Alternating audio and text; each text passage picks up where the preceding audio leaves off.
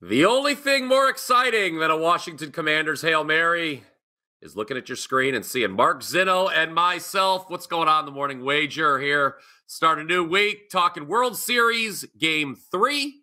Yankees are down 0 2 Zinno.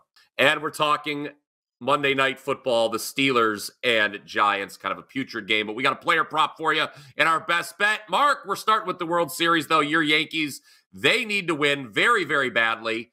And uh, you're going to take a look at the first five here. I mean, you're just you're going to gloss over everything that happened over the weekend. We're not even going to spend a minute ranting and raving oh. about the weekend. I mean, we'll do know, that later. We're going to do that later. Uh, we're going to get into the pick, and then, and then we're going to work our way back. We're going to work our way back. We're going to go pick, give the people some information, then we'll rant in the middle. Let's do that. Sure, that'll work. Um, by the way, um, before I give out the pick, I'll just say that uh, I hope that Mike McDaniel got held down and his head shaved after the abhorrent coaching performance he did yesterday with the Miami Dolphins. We'll move on from that. Then we'll get to Saturday, and then we'll back it up to Friday and how I hope Aaron Boone gets stuffed in a trash can and not allowed in the stadium tonight. Beyond that, um, yeah, yeah, Yankees. Um, uh, yeah, they're playing Game Three tonight. Kind of a must-win spot, eh? Yeah, Clarke Schmidt was the guy who should have started game two because Aaron Boone sucks at his job and knows he shouldn't have started Carlos Rodon on the road. So Carlos Rodon should be starting this game, and Clarke Schmidt should have started game two. But we digress from that. Clarke Schmidt, I told you guys repeatedly, is the most reliable and most consistent starter on this Yankee staff. He's the guy I trust the most. Furthermore, the Dodgers have like next to no track record against him. Like they just haven't seen him. They don't know who he is. They don't, you know, it's just one of those things where there are only three guys in this lineup who have ever had an at bat against him Enrique Hernandez, Teoscar Hernandez, and Shohei Ohtani. Uh, and Ohtani has one hit, and Enrique Hernandez has one hit. Oh, Shohei, Ohtani actually hit a home run off of him, but that's either here nor there. So, uh, yeah, you give the edge to the pitcher in this spot when guys haven't seen him and have doesn't really know what his stuff looks like. So, that said, the Yankees don't have a ton of experience against Walker Buehler either. However, Walker Buehler is a dumpster fire. He is a gas can. He is a live abortion on the mound as a pitcher. He's terrible. So, and given the nature of what the Yankees have here being down 0-2, if they don't get to Walker Buehler, guess what? They're dead. They're dead. The game is over. You might as well shut it off after five innings. So I am going to take the Yankees first five money line, despite the fact that it's juiced to 145, because after what happened to me in game one with my Yankees plus a half, thank you, Juan Soto, for not knowing how to play right field. Um, after losing that one, I may as well just take the money line here and keep the tie in my back pocket. Uh, and yes, it's juiced to minus 145, but don't get upset at that because if you follow around Wager Talk, there, there, there, there are wackadoodles handing out minus 218s everywhere. So, you know, why not? Yankees, minus 145, first five money line, my half of the double play. Ah, uh, Mark Zinno firing shots. Here. Have you ever just laid minus 218 on the money line? Have I, you ever I'll laid? Tell you what, I've, I'll tell you what, I've laid a lot of things that I don't want to talk about right now, okay? Let's move. Oh, there, we go. Oh. there we go. Lots, we have a we have a visitor here on the morning. Okay, let's let's let's move on. All right. Okay. I'm gonna, I'm, you know, listen. If I'm going to commit an assault, I'm going to let you know who it's on. I mean, it wasn't him. Wow. just you know. okay. Well, let me tell you something. I'm going to let me tell you something. I had a lot of closing line value over the weekend. You know what got you know what that got me? Not even a pat on the ass. All right. I'm going to talk talk about that in a few minutes. Let me talk about the total in World Series Game Three first. Okay. You mentioned your buddy Aaron Boone uh, making a, a mistake. If you ever call him my buddy error. again, if you ever call my buddy again, I will sl- I would drive to Ohio and slit your throat. My God, my okay. neck. Uh, anyway, uh, on that note, uh, Mark Zinno's sworn enemy, Aaron Boone, uh, made a strategic error, perhaps, in starting Rodon again instead of Clarke Schmidt in game two. To that point, guys, check this out. Clarke Schmidt's numbers on at home versus the road. Mark, I'm assuming you're aware of this. Uh, tell him. It's a it's a big jump. Clarke Schmidt on the road this year has a 1.39 ERA. That number jumps to 4.50 at Yankee Stadium. So, yeah, Schmidt probably should have started game two. So I think the, the Dodgers, who generally speaking in this postseason have just put up a ton of runs. I mean, every game in the NLCS went over. Game one infamously goes over uh, with the grand slam. But I mean, you look at the Dodgers, they've scored the last uh, eight games, they've scored 9 3, 8, 10, 6, 10, 6, 4. They're probably going to score some runs, even with a banged up Ohtani. But I do agree with everything you obviously said uh, concerning Walker Buehler. The Yankees need to get to him early. Buehler, uh, much, much worse on the road than at home. Okay. His splits, I mean, 6.53 ERA on the road versus 4.60 at home. So both these guys are pitching in terms of home road where they don't want to be. And then you look at the Yankees and Dodgers WRC plus against righties, they're one and two. Yankees one, Dodgers two. And since the Dodgers got Max Muncy back in mid August, they're actually number one. So I think both these offenses are going to put some runs on the board. I agree with Mark's Yankees first five uh, money line play, but I also like over eight and a half in game two, or pardon me, game three of the World Series. Yes. Your thoughts? Uh, I don't need the stress of watching this game tonight. I really look, and you know what? Part of me was really happy that um, they went down 0-2 because that way I didn't have to drop about eight grand taking my kids to game three because I had seriously contemplated it. I had seriously con- like if it was one one, like there was a part of me that would have been, you know, in Yankee Stadium tonight with my children. Pulled them out of school, flown to New York, going to watch the game, giving them the experience of a lifetime. Something I didn't have till I was in my twenties. Uh, would have loved to have done that, but uh, I can't put my kids uh, in a situation where they have to watch Aaron Boone manage a baseball game live because it, it might scar them for the rest of their life. And I, I, as a parent, I can't do that to them.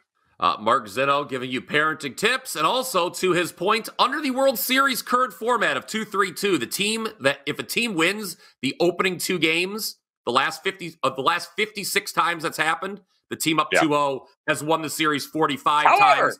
The last you know two, the last, the last ahead, um, I think it was the Yankees were the last team to do it. Were they not?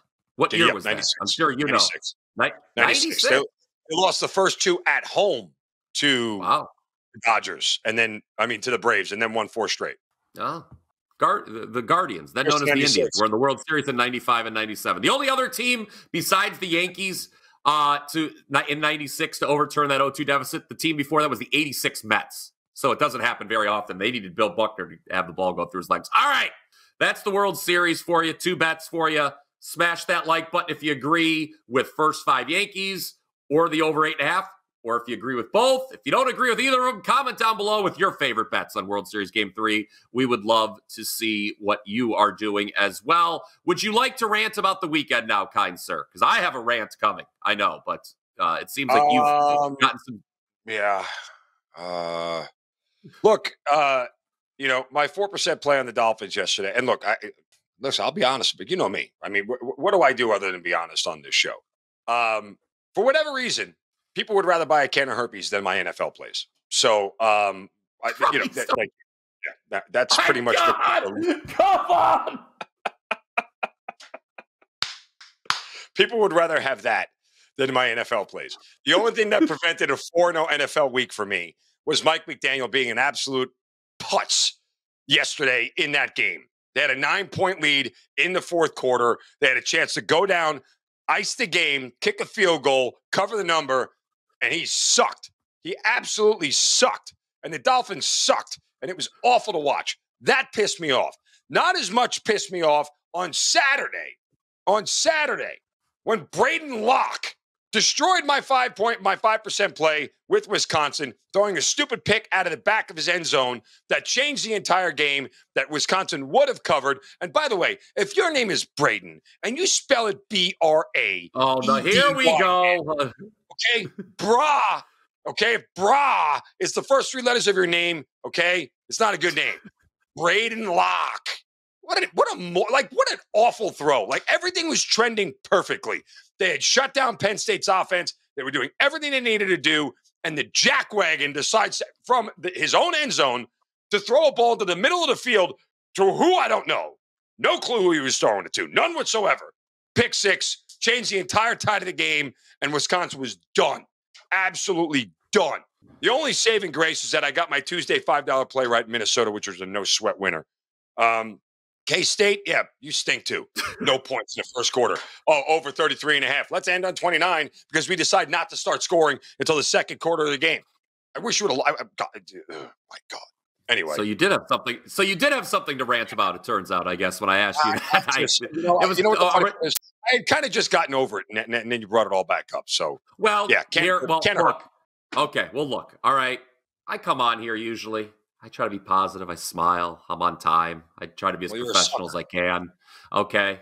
I've had a good football season for the most part until this past weekend where uh, I made mistakes, guys. I was chase. I was trying to beat the line rather than I was obsessed with it, and I paid the price.